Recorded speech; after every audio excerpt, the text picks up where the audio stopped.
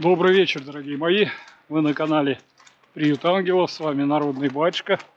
И я вас благодарю за поддержку ролику, где я рассказал про Камилу Валееву и сказал, что чиновники во многом виноваты то, что с ней происходит. Но те, кто не видел первый ролик о том, как вообще может попасть допинг в кровь спортсмена, вы посмотрите, потому что тот-то ролик скорее вас предупреждает, что ваши дети могут быть в такой опасности, что в любой момент в их кровь что-то попадет, а потом, как говорится, не расхлебаешь. У Камилы-то, видимо, получилось, дедушка поцеловал а у дедушки лекарства. Они, да, они все с этим веществом сердечным. Ну и вот такой результат. Там уже подтвердили, что количество не влияющее на деятельность организма, просто оно есть как есть.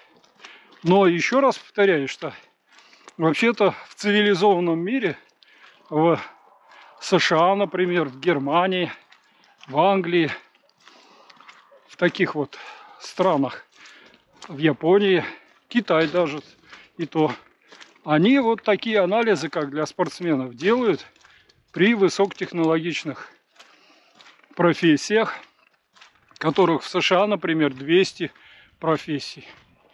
И если вдруг кто-то из ваших захочет в США быть летчиком, быть работником на железной дороге, машинистом, то, к сожалению, если вы здесь его случайно поцелуете, и у него окажутся эти вещества в дальнейшем, конечно, у нее-то оказалась доза, которая вывелась в течение месяца и уже приехала на Олимпиаду, она без нее, без этого вещества, олимпийские анализы не показывают ее допинга, так называемого. Но да, вот такой мир. Они еще счастливы, эти девочки, что за ними так следят, и у них такая специальная диета, специальная охрана и все остальное. Но, конечно, они очень психологически сильно нагружены и физически очень сильно нагружены. Но я сейчас не об этом хочу сказать, потому что, ладно, мы можем обвинять чиновников, Некоторые обвинили и Подберидзу. Мне сказали, что Родионова э, роднина, например, на нее вину возложила. Э, хотя я вам могу сказать, что в то время, когда она каталась, просто не входили в состав некоторые вещества, еще не были приняты в список антидопинга то есть антидопинговый список. А применять, конечно, они применяли. Причем именно такое же вещество, только в более простой формулировке, формула была немножечко другая, а фенобарбитал оказался причиной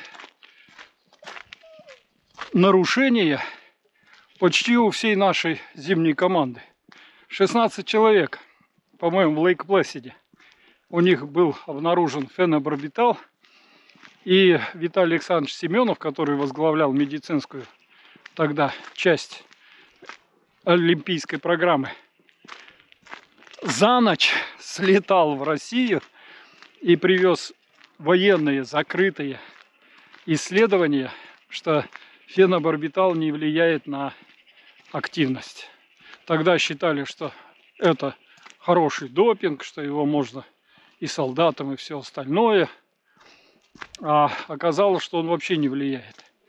И вот он мне рассказывал, как тяжело ему это пришлось со звоном. Ну, то есть через генерального секретаря было сделано, поскольку это секретный материал был, что он не влияет Поскольку думали, ну ладно, пусть травятся иностранцы, они думают, что это допинг, а мы уже знаем, мы уже применять не будем. И вот э, он успел, и не отменили им э, эти награды. По-моему, там уже и была роднина. Ну, в общем, дело не в этом. Сейчас-то я хочу совсем другую тему даже затронуть. И эта тема психокиллеры. Я когда-то написал с таким названием статью, то ли в конце 90-х, то ли в самом начале 2000-х, не помню. Просто журнал меня попросил э, безопасности власть, услышав мое такое вот выступление на одной из конференций, сделать письменный текст этого выступления. И он опубликовал такую статью. Называлась она «Психокиллеры. Кто они?».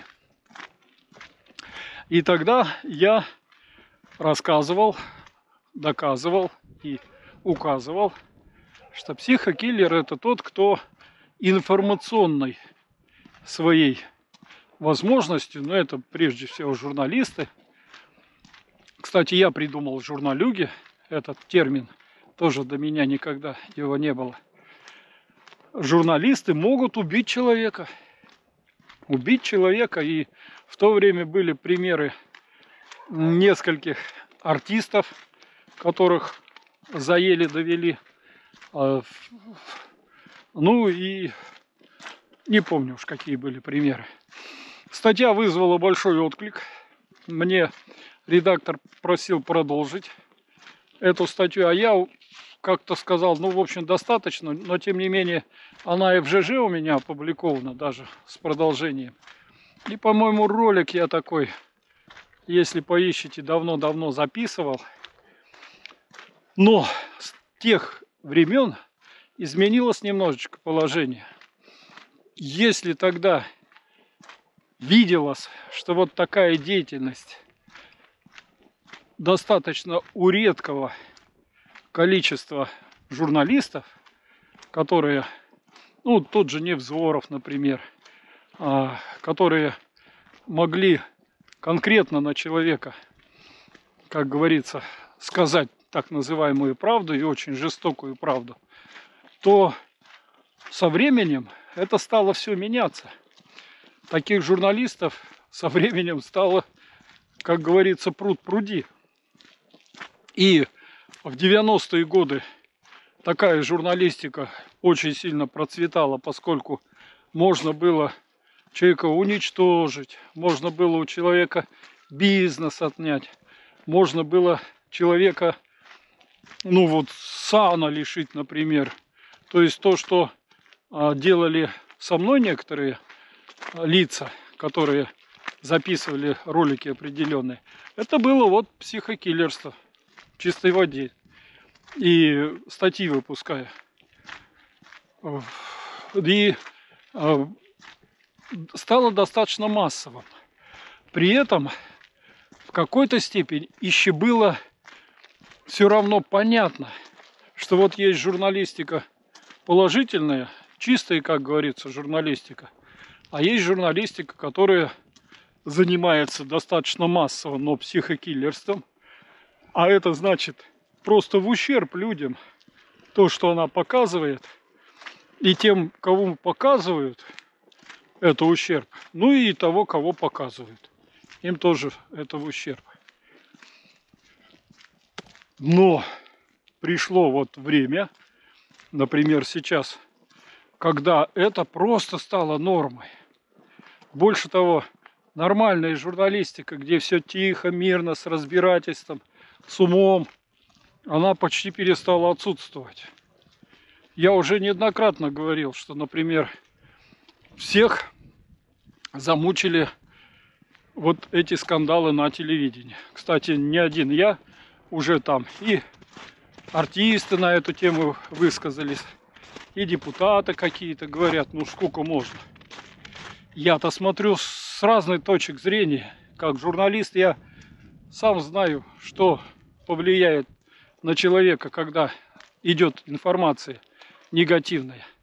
И вдруг я вижу вот мужское и женское, например, передача, где сидят, разбирают какие-то случаи бытовые, приглашают простых людей.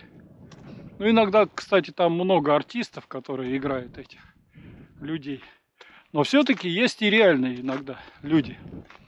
Так вот этих простых людей начинают раскручивать. И журналистам которые там сидят, Гордон, или те, кто готовит, а Гордон и э, другая соведущая, они часто сами ничего не знают, они просто читают то, что им подготовила редакция, эти вопросы. Задают такие вопросы, которые человек, в общем-то, не ожидал. И человек приходит с одним настроением и с одной скажем, идеей действительно разрешения конфликта, например, или а, какого-то примирения с теми, с кем у него этот конфликт. Но журналистика его подводит к тому, что кто-то из вас не прав. Я вообще на самом деле однажды, я редко смотрю эти передачи, просто иногда чувствую, что человек прямо вот сидит и грубо говоря, помирает от того, что с ним делают. Ну, помолишься за него, посмотришь, что и как. Так вот, смотрел одну передачу на самом деле. Там женщину просто затравили. Вот просто. Я видел, что, на мой взгляд, она совершенно не виновата. А на нее такое что-то пошло вот в этой редакции. Но они просто ожидали редакцию, реакцию от нее. Это же еще и от этого зависит, что вот одна эмоциональная, а другая не эмоциональная. Ту не раскрутишь, а это легко. Встанет, вспылит, побежит, ругаться начнет там, пульс у нее сильно поднимется. Но вот представить, как она, облитая этой грязью, выйдет из студии и будет дальше жить, немногие могут. А журналист должен осознавать, что то, что он сделал, откликается на всю жизнь на этом человеке.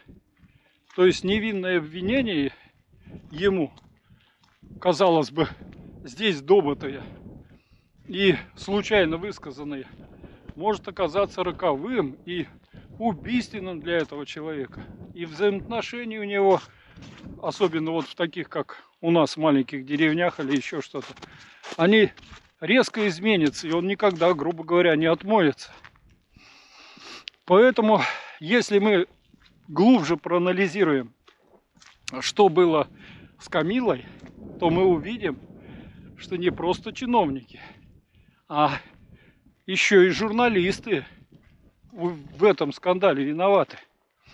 Поскольку журналистам сдали те, кто эту пробу получил, этот результат. Жур, продал, я думаю, что продал очень дорого этот результат. Журналисты первые озвучили ее имя. И журналисты бегали за ней, спрашивая, принимала она допинг или нет.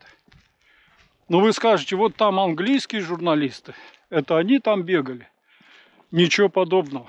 Посмотрите, сейчас такая же проблема произошла с Сашей Трусовой.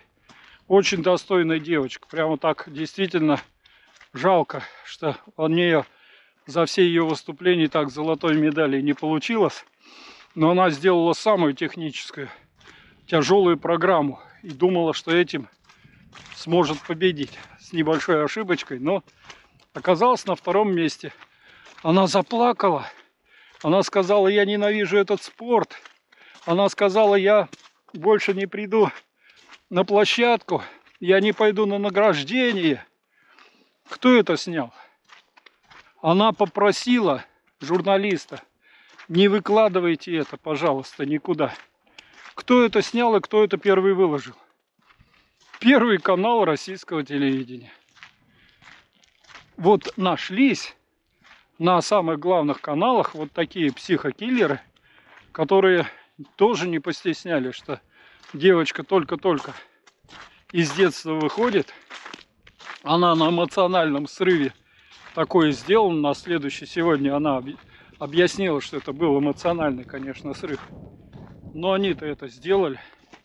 И мы видим, что бегает эта толпа этих журналистов за всеми, особенно за теми, у кого есть возможность какой-то скандальчик ухватить. Пожалуйста, BBC случайно выложила кадры, как готовят украинцы съемки провокационные, как нападет Россия. Все, это весь признак, что это постановочный.